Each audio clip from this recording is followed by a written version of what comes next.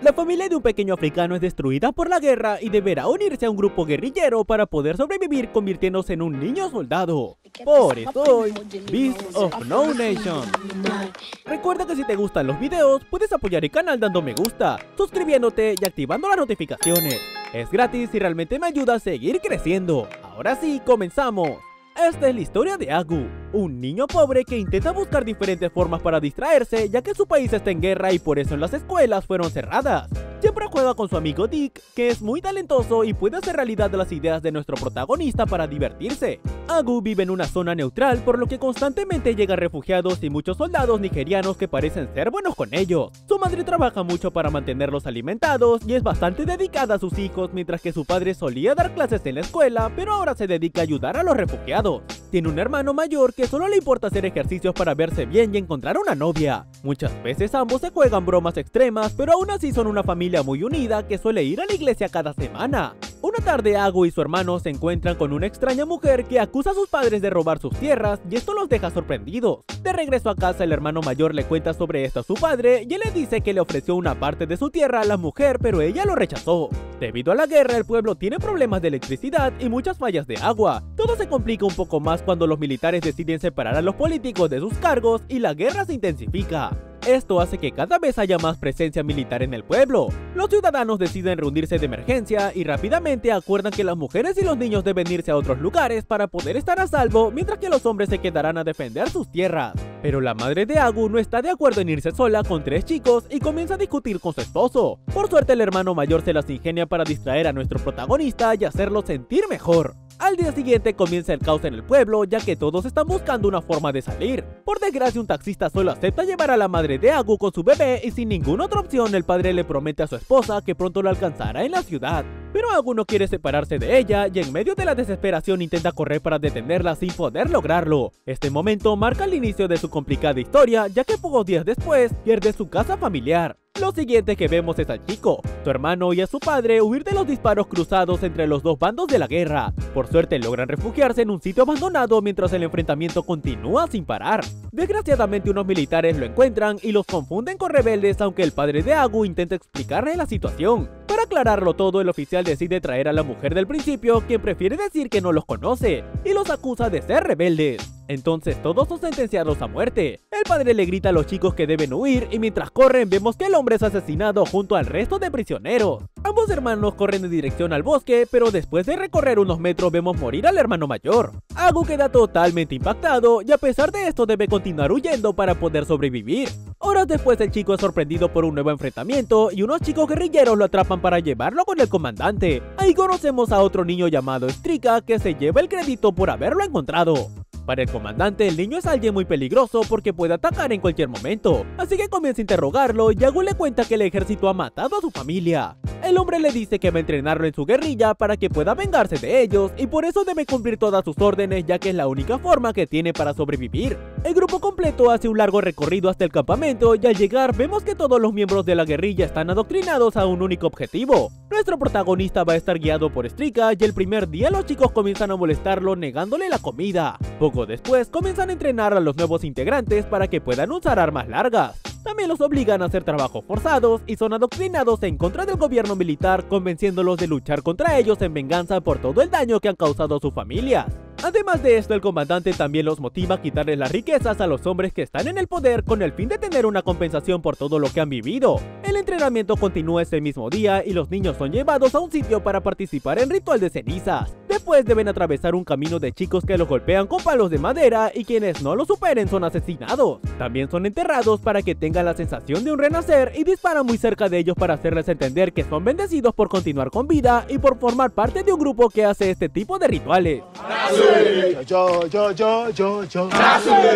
Días después llega la hora de desplazarse a otro lugar, por lo que el comandante ordena acabar con el campamento para no dejar ningún rastro y al amanecer inician el nuevo recorrido. Agu observa todo con mucha atención y después es enviado a su primera misión encubierta junto a otros compañeros. Algunos de ellos fuman cigarrillos y consumen drogas ya que quieren estar preparados para el ataque. Resulta que están a punto de hacer una emboscada con armas de guerras, iniciando un gran enfrentamiento que terminan ganando. Luego revisan las cosas de sus víctimas y descubren que uno de ellos aún está vivo. El comandante le dice a Agus que debe matarlo clavando un gran cuchillo en su cabeza y el chico al principio se queda paralizado, pero luego el jefe le recuerda que él es el culpable de la muerte de su padre y ahí nuestro protagonista se arma de valor para hacerlo. En eso Strika se une a él y juntos acaban con la vida del desconocido. Gracias a esto Agu comienza a sentirse muy mal porque sabe que asesinar es el peor pecado y mientras analiza toda esta situación recibe un arma como premio que lo convierte en un guerrillero oficial. Con los autos que acaban de robar consiguen avanzar muchos kilómetros y en algunos momentos vemos que los chicos aprovechan para divertirse de alguna manera. En un próximo enfrentamiento el comandante enseña a los niños a usar un binocular para observar el ataque a los enemigos. En este momento les ordena invadir el puente y en pocos minutos logran el objetivo sin mucho esfuerzo, aunque varios de sus soldados mueren en el proceso. Por eso antes de avanzar se despiden de ellos y más tarde Strike lleva a nuestro protagonista a la oficina del comandante, quien está hablando con sus aliados sobre la victoria que acaban de obtener. En esta charla en privado, Agu le dice que es un chico bendecido por poder recibir sus órdenes y el jefe le explica que tiene talento para liderar, aunque también debe seguir órdenes, así como él está bajo el mando del comandante supremo. También le cuenta los próximos pasos de la siguiente misión, que justamente es en la ciudad donde se encuentra su madre, y le pide guardar el secreto de las drogas que está consumiendo, pero desgraciadamente también abusa de él, diciéndole que esa es una forma de cuidarlo. Cuando Strike lo ve salir de la oficina, intenta hacerlo sentir mejor porque sabe muy bien lo que ocurrió ya que también ha pasado por esta situación. Pero aún así Agus sigue sintiéndose mal y por eso uno de sus compañeros mayores le hace un corte en la frente y allí riega un poco de su droga para cambiar sus emociones. En muy poco tiempo ocurre el siguiente ataque. Esta vez se lleva a cabo en una aldea cercana en donde asesinan a todas las personas que se encuentran incluyendo a los inocentes habitantes del lugar. Agu continúa bajo los efectos de las drogas, por lo que su visión de los hechos está algo distorsionada. Aún así sigue con su trabajo y en una de las casas que asaltan encuentra a una mujer escondida con su hija en el closet. Al verla, nuestro protagonista la abraza desesperadamente, creyendo que es su madre, pero al volver en sí comienza a gritarle bruja por haberlo engañado. Los demás guerrilleros menores comienzan a golpear a la niña sin control hasta que logran matarla mientras los mayores se encargan de abusar a la madre. Cuando Agus se da cuenta de esto comienza a sentirse muy mal porque también ha sido víctima de eso, así que decide asesinarla de un disparo para acabar con su sufrimiento. Más tarde el comandante supremo envía un mensaje al comandante para convocarlo a su oficina en un evento especial. Al llegar todo el equipo es recibido por el delegado que los guía hasta una sala de espera y allí vemos a otro hombre de traje que también espera por una reunión. Al pasar las horas finalmente el delegado llama a los guerrilleros pero solo los lleva a otra sala de espera con asientos más cómodos para que esperen su turno. El comandante se queda dormido hasta el día siguiente y finalmente a la mañana comienza la reunión. El comandante supremo saluda a todo el grupo y los invita a comer mientras él continúa hablando con el comandante y el lugarteniente. Entonces le cuenta al líder que aún no es tiempo de dar el golpe mayor y le informa que ha decidido sustituirlo. A partir de ahora, su batallón estará a cargo del terrateniente, pero aunque está siendo degradado, tendrá un cargo en el comité de seguridad. El jefe del grupo se molesta por esto y pide un pago a cambio de sus chicos. Pero al recibir una respuesta negativa, decide que entonces pasará una noche con toda su tropa para despedirse y no le importa lo que el comandante supremo opine al respecto. Su idea es llevarlo a un lugar de citas en donde el comandante y el terrateniente encuentran compañía rápidamente. Todos van a divertirse mientras Agu y Strike se quedan en la recepción tomando cervezas durante muchas horas hasta que algo inesperado ocurre.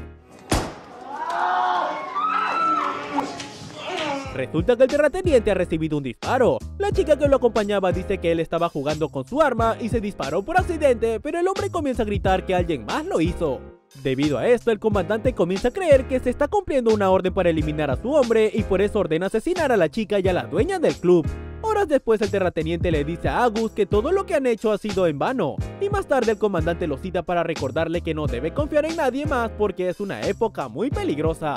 Y durante su funeral escuchamos que el jefe está dispuesto a seguir peleando sin obedecer las órdenes del comandante supremo. Así que el grupo completo se marcha y rápidamente comienzan a ser atacados en los momentos menos esperados. Muchos de sus compañeros comienzan a morir en cuestión de horas. En uno de esos conflictos su amigo Strika no puede continuar escapando ya que se encuentra muy herido y nuestro protagonista decide que no puede abandonarlo por lo que lo lleva en su espalda a pesar de estar muy cansado. Lamentablemente en poco tiempo el chico muere y a no le quedó otra opción que dejar su cuerpo en el bosque cubierto de plantas. En otro momento el terrateniente le pide el favor de buscar más municiones y en el recorrido nuestro protagonista comienza a notar que muchos de sus compañeros están heridos, muy drogados o sin fuerza.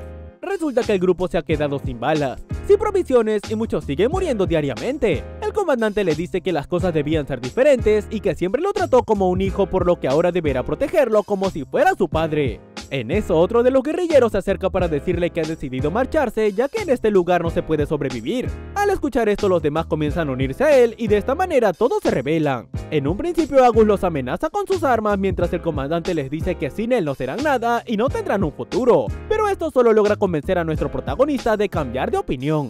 Sin poder hacer nada para detenerlos, el jefe los echa de su campamento gritando que los militares van a encarcelarlos, pero ninguno de ellos lo escucha. Luego de caminar por horas, los chicos son sorprendidos por los militares y todos deciden rendirse. Después son llevados a un refugio en donde son alimentados y esperan ayudarlos. Estando allí sus compañeros se divierten con diversos juegos, pero Agu no puede separar el trauma de todo lo que ha vivido. Él sabe que se quedará mucho tiempo en este lugar, ya que en las noches sufre recordar los gritos de las personas que asesinaron.